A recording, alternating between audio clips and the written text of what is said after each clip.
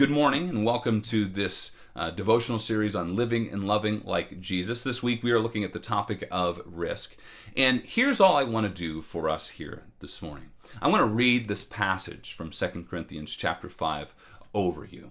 And then all I want you to do after this video is maybe reread this passage yourself. Uh, but I definitely want you to take some time in prayer to ask the Lord to provide some moments for you specifically today or even this week to look for a chance to take some risks, whether that is in giving, whether that's being hospitable or sharing the gospel with somebody uh, or being vulnerable yourself.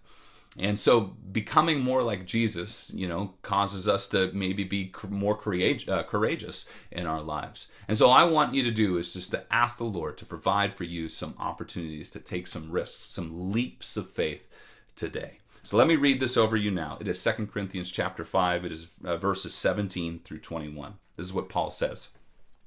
He says, Therefore, if anyone is in Christ, he is a new creation. The old has passed away. Behold, the new has come.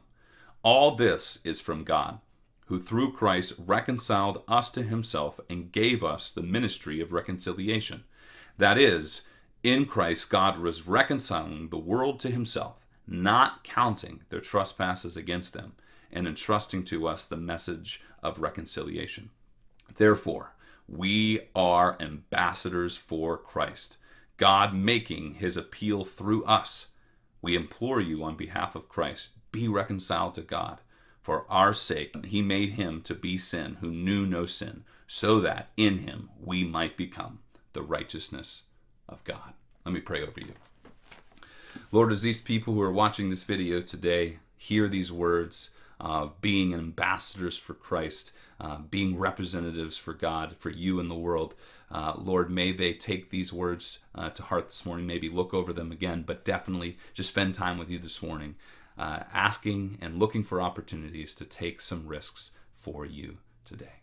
So, Lord, be with them and be with all of us today. In Jesus' name, amen.